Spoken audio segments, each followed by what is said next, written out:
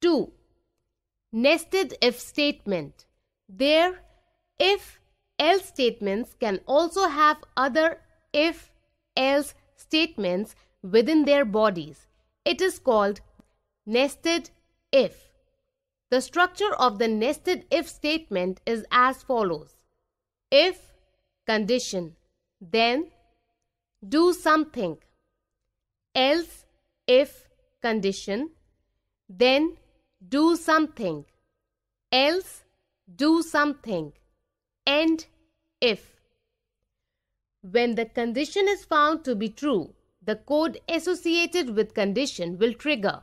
For example, in a new file type, example 1, CLS, if 5 more than 10, then print 5 is greater than 10, else print 5 is not greater than 10.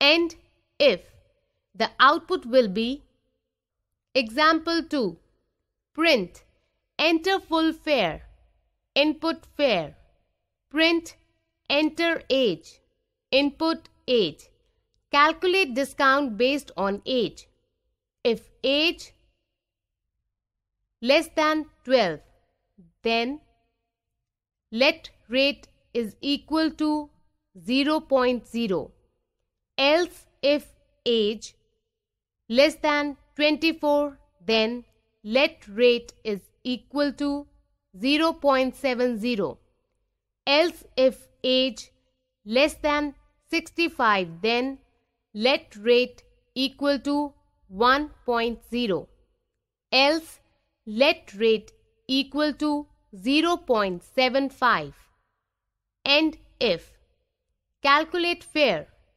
print. Your fare is fare asterisk rate. End. 3 select case statement. Select case statements work like if statements. The difference is that the select case statement can make the code simpler to read and they work faster than if statements its syntax is as follows. The components of a select statement are test expression. It is the name of the variable to be checked. Case value. The possible set of values expected to be entered by the user for the test expression. Case else. It describes the default statement to be executed if no matching case value is entered by the user.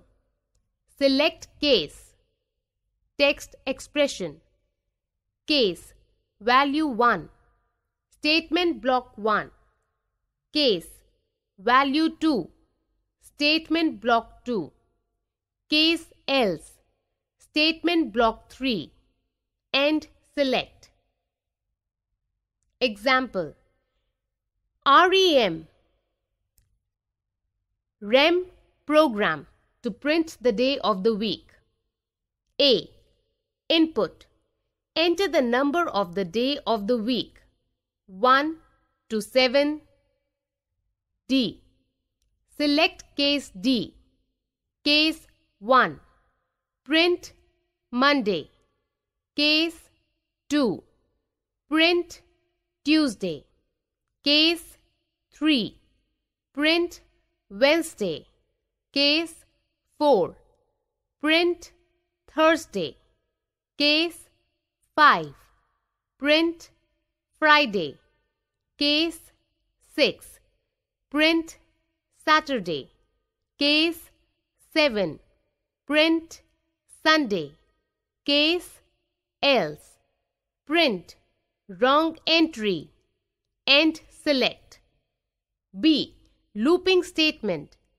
When set of instructions are repeatedly executed a fixed number of times, it is termed as a loop. To make interesting and efficient programs, you can make QBasic to execute a part of a program more than once. This is called looping.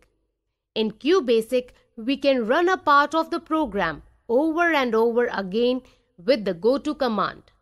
But there are some alternate ways to loop the program also. One of them is the for next command.